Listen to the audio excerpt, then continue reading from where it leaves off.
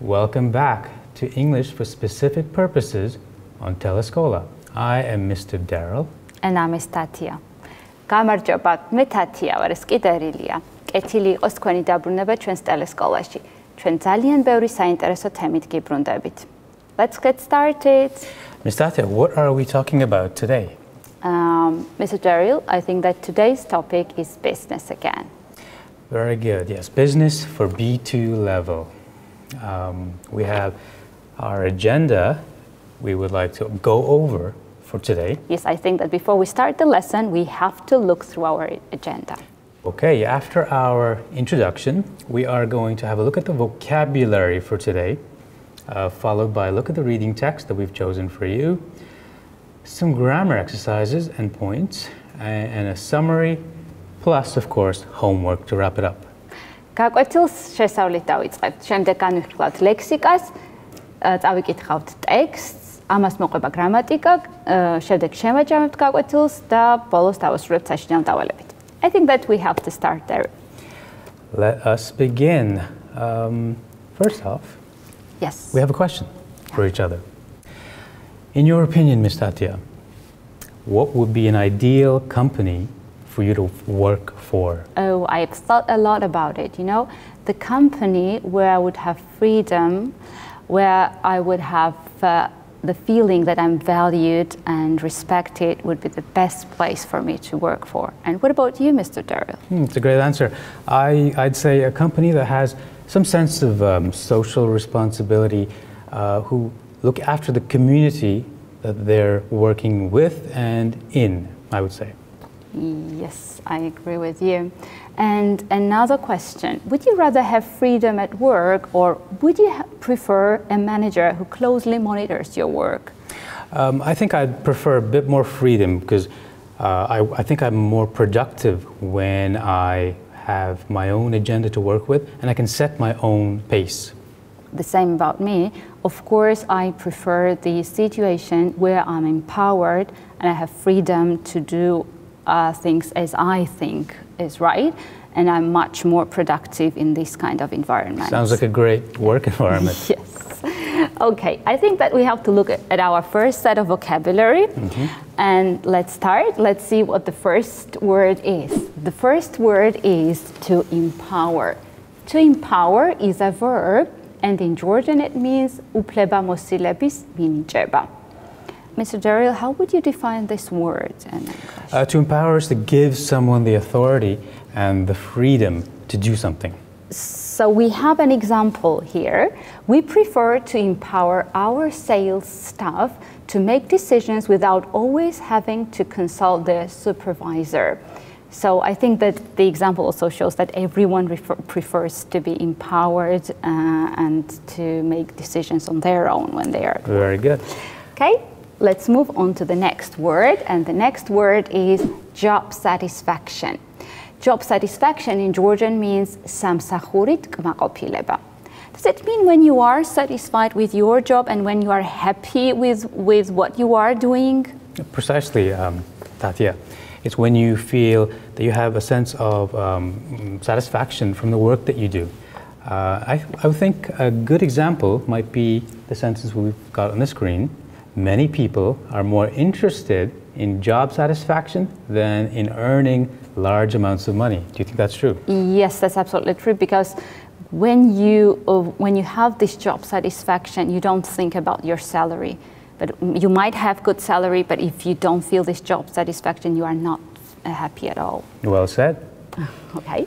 The next word is autocratic. Autocratic is an adjective, and in Georgian it means dictatoruli. Mr. Daryl, how would you define that word?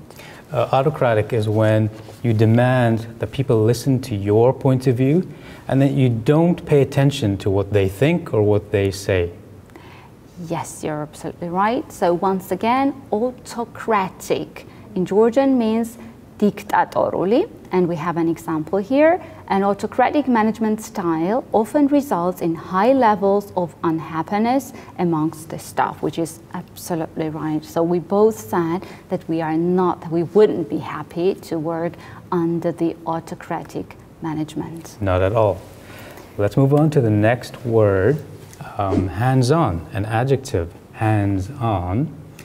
Uh, the definition of hands-on, Ms. Tatia? In Georgian, it is Atzrad controllably. And how would you define it in English, Mr. Daryl? Hands-on is being closely involved with the management and the organiz organizing of things within the office.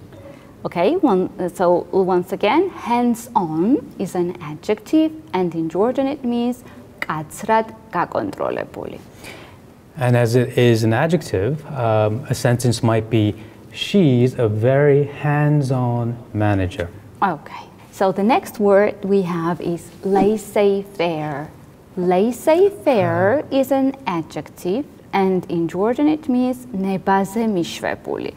So how would you define this word in English, Mr. Daryl? Uh, laissez-faire is uh, originally, I think, a French word, but we use it in English now, and it's uh, unwilling to take too much of an involved interest in what, what's going on. So a lot more of a relaxed uh, point of view or management style. Okay, so laissez-faire is an adjective, and in Georgian it means nebaze mishrepul. So, okay, and I think that it's time to practice the words and find out how well we remember the, the meanings of the words, okay? I think that we have to match the definitions with the words, mm -hmm. right? Yes, yes. Okay. Can you read the definition and I'll try to guess the word? Very good. Uh, here's the first definition. Um, demanding that people obey completely without asking or caring about anyone else's opinion. Okay, I'll try, and I think that it was autocratic. Autocratic? let's check. Let's check. I think I'm right. And Well I'm done. right. Okay. So, demanding that people obey completely without asking or caring about anyone else's opinion. And the right word was autocratic. Very good. Now, next one, I will try. I'll read the definition, and it's your turn to guess the I'm looking forward to it. To give someone official authority or the freedom to do something. Mr. Daryl, what do you think is the word? Well, uh, based on the definition and what we've talked about earlier, I would say it is empower. Oh, let's check. And you are right, empower. So, to give someone official authority or the freedom to do something is empower. Excellent. Now I will try. Okay. Okay. Let me read the uh, sentence for you. Yeah. Unwilling to get involved or to influence other people's activities, Ms. Okay, so let me try. And I said that I would like to work in this kind of environment, and I think that it was laissez faire.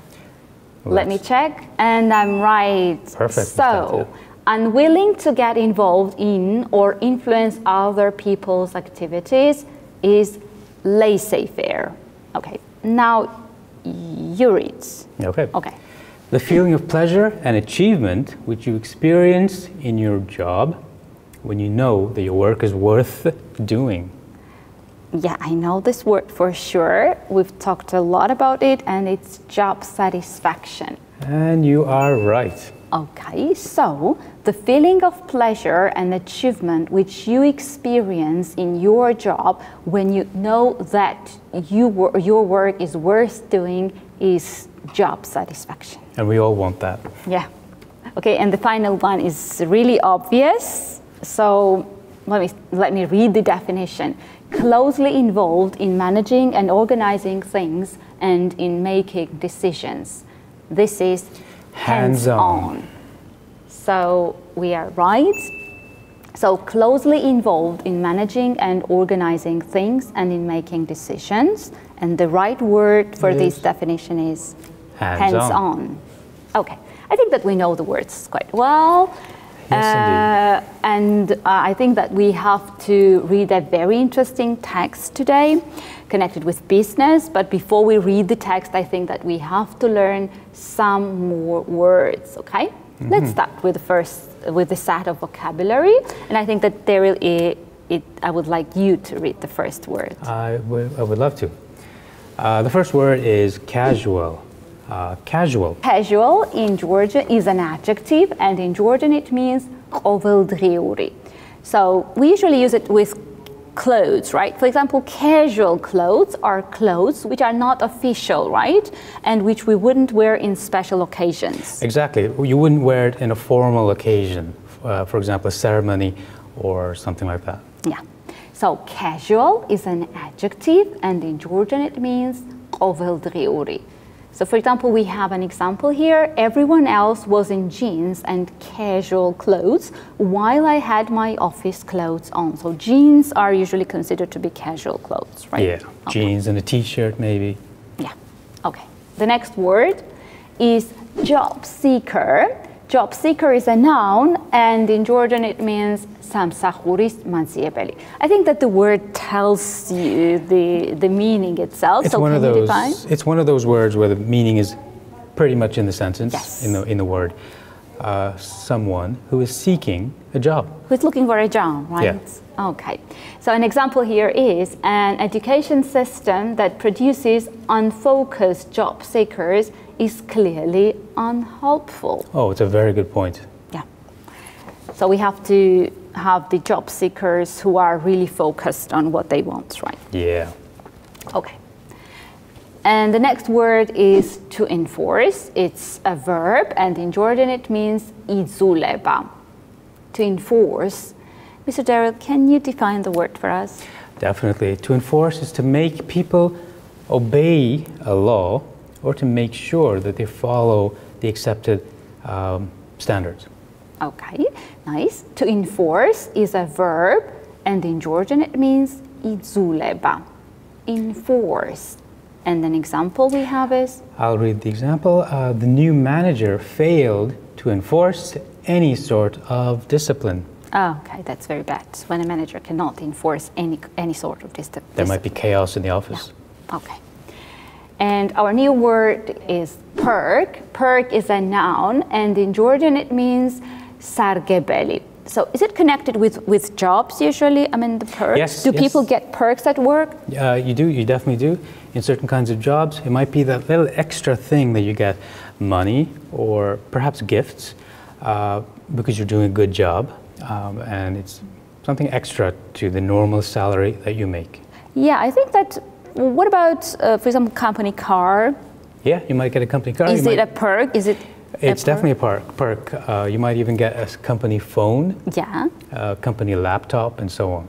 And what about bonus, bonus, and some kind of extra money you get? Is it considered as a perk? If you've done a really good job in the year, they might decide to give you a bonus, and that is a perk as well. Okay, now it's clear. So perk is a noun, and in Georgian it means sargebeli. And the example we have is a company car, a mobile phone are some of the perks that come with the job. So anything you get apart from the salary, I mean extra benefits, they are called perks, right? Exactly. And the next word is to showcase, and showcase is a verb, and in Georgian it means tsardgena chveneba. Okay, how would you define the words? Uh, Mr. To showcase is to show the best parts of something, uh, to make a put a focus on something that's the uh, attractive, the most attractive quality of something. Okay, clear. So to showcase is a verb, and in Georgian it means. And for example, a sentence might be, "We wanted an exhibition that would showcase all of the different kinds of things that we do." A, a great sentence, isn't it? Yep. Okay. Yeah. Now the next word is bond. Bond is a noun, and in Georgian it means kavshiri.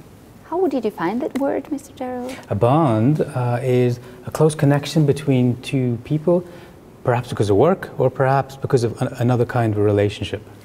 Mm, yes, now I get it. So bond is a noun, and in Georgian it means kavshiri.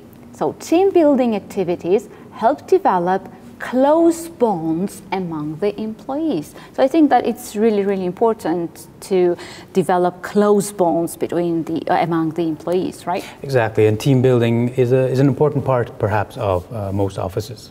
Okay.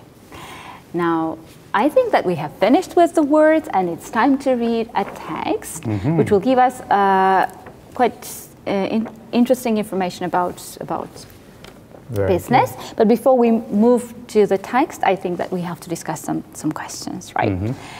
So, Mr. Daryl, what do you wear at work? I'm really interested. And how do you decide? And does your workplace have a dress code? Uh, well, well, uh, well, good questions. Uh, as you can see, I am wearing not very casual, uh, not extremely formal either, so somewhere in the middle perhaps. And uh, my workplace doesn't actually have a, uh, a dress code, but I like to wear sort of partially formal and partially casual. Okay. What about you? Um, as for me, you know, just I'm not uh, asked to wear some kind of uniform, but of course, I uh, I prefer to to wear some formal clothes, okay, not casual ones. Or so I, I usually have the uh, communication with my students, so I think that it's it's better to wear to wear some formal clothes. Although present- there is no no no dress code uh, Yeah. at work. You want to present an image to the students. Yes, kind of. So the way people dress in the workplace has become more relaxed in recent years.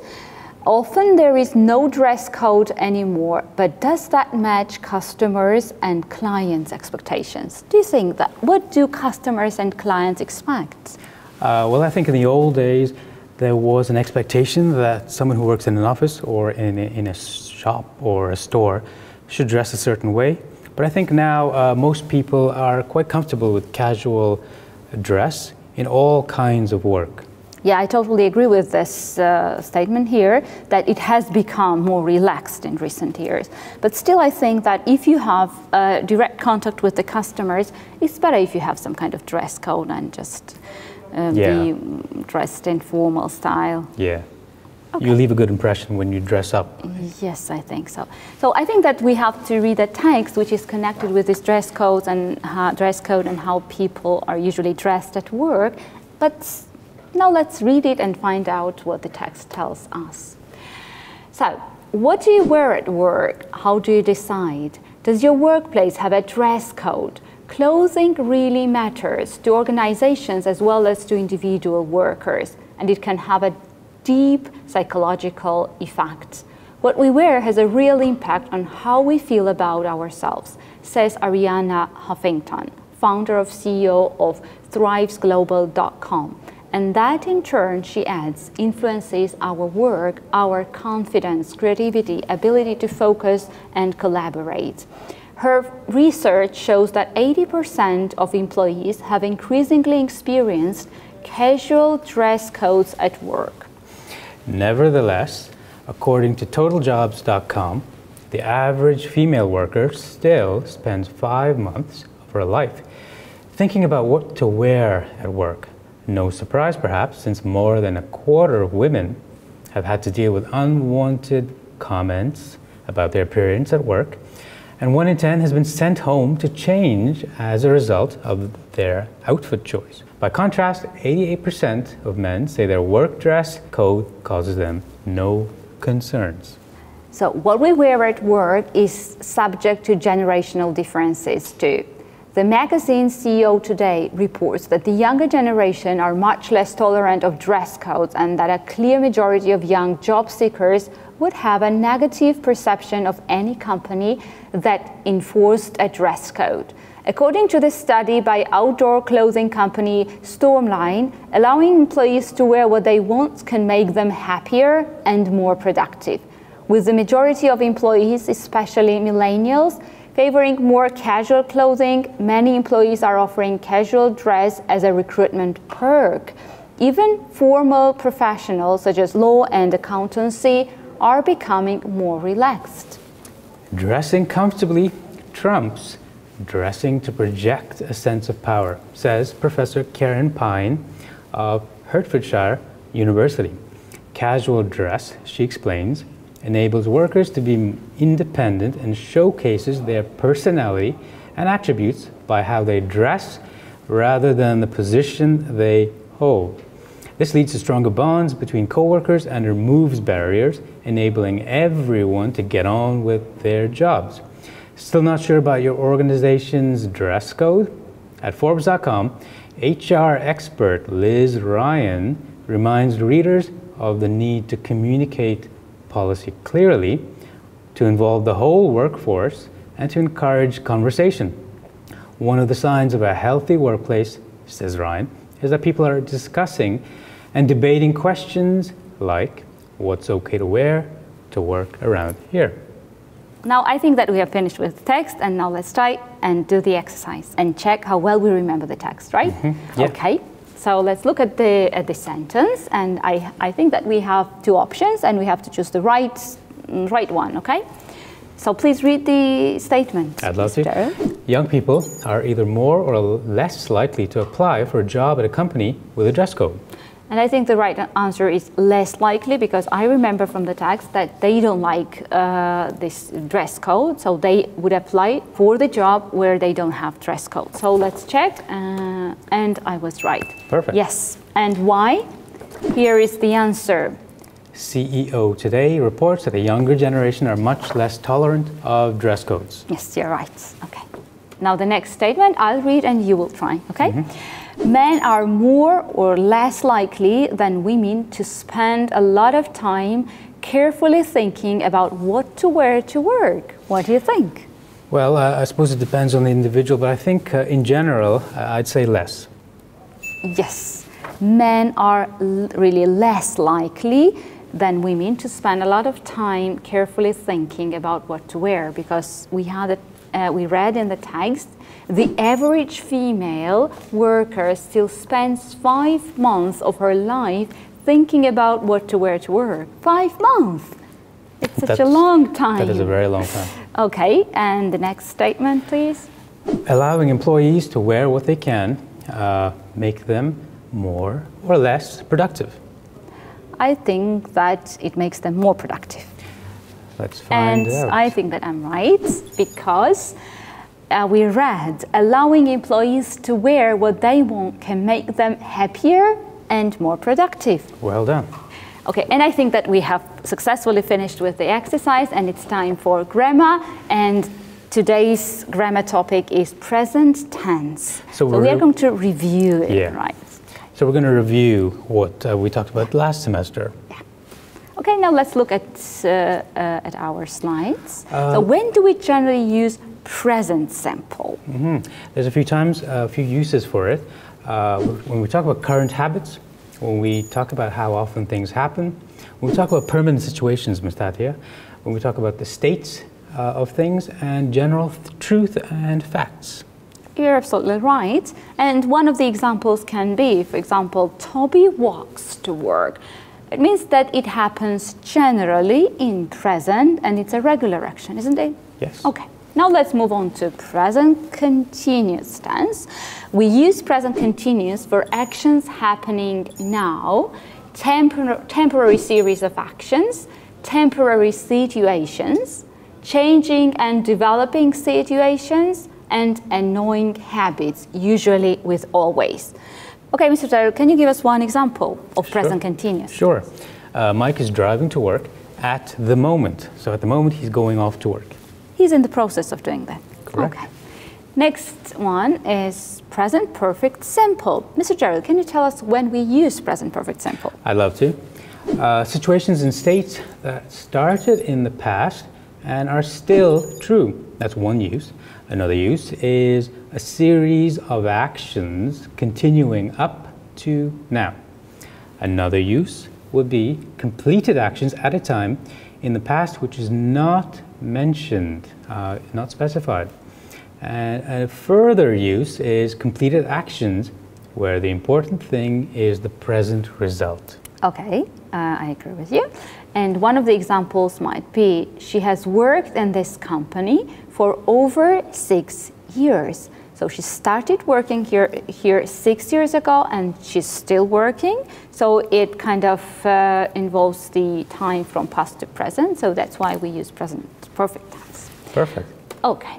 And one more important thing, I think that we have to mention that we have verbs. They are called state verbs, which are not normally used in continuous tenses because they don't describe actions. For example, I see what you mean, and we can never say I'm seeing what you mean because see is a state verb which never takes ing form. And I think that there are plenty of verbs like that. right? Believe, see, smell, taste. and we're going to, to talk about it later. Yes. Uh, more about it later, okay?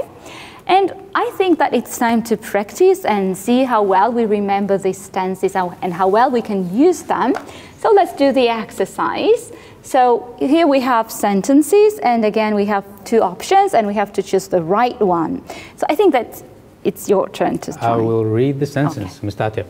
Elizabeth either usually goes or is usually going to bed at around 11 o'clock.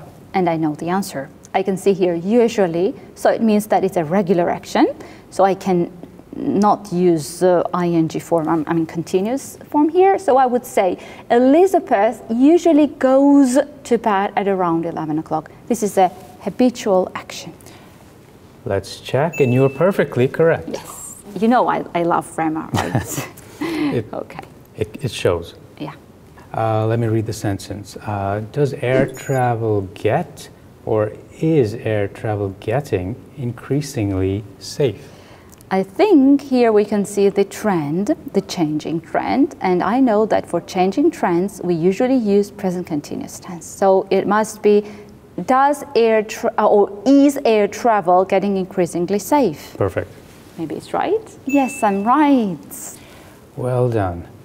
So the right answer is, is air travel getting increasingly safe? And we are right. Now I'll read and you will try, okay? You always come or you are always coming up with excuses for not having completed the tasks. I am irritated. Irritated, and you have the use of always in there, Yes. both of which together usually brings us to uh, the present continuous. Yes, So we said that when we want to show our annoyance, Annoyance and irritation, irritation. we usually use present continuous and let's check. You're always coming up with excuses for not having completed the tasks. You're right. So the next uh, sentence, the manager holds or is holding meetings almost every week. Again, this is uh, an action which uh, is a regular one, which happens every week, and I know that for regular actions I usually use present simple. So I would say here, the manager holds meetings almost every week. I think you And are right, Ms. Tatia. And I think that we have come to the end of the lesson. Mr. Daryl, can you summarize the lesson? Yes. Uh, as you remember, we spoke about vocabulary, uh, two kinds, for the text and in a general sense. We did the reading about dress codes at work, and we did grammar, a review of the present tenses. ეხა კი დროა შევაჯამოთ ჩვენი გაკვეთილი. ჩვენ დავიწყეთ ახალი სიტყვებით, შემდეგ წავიკითხეთ საინტერესო ტექსტი და შემდეგ განვიხილეთ გრამატიკა. ჩვენი დღევანდელი გრამატიკის თემა იყო აწმყო დროები. Oh, And I think it's time for the homework now. we What is the have homework for we have a homework question. Write a paragraph describing the way you would structure your ideal company. Oh, I would like s- to write about it because I would, I would, I would write so many things how I would like to structure the company I would run one day. In fact, we've got a model answer on the screen. And where can students upload the answers? Well, they can send it uh, to the address that is on the screen right now. So I think that it's time to say goodbye to our, our audience today. Unfortunately, So goodbye and see you soon. Keep on learning. until next time, goodbye. Bye.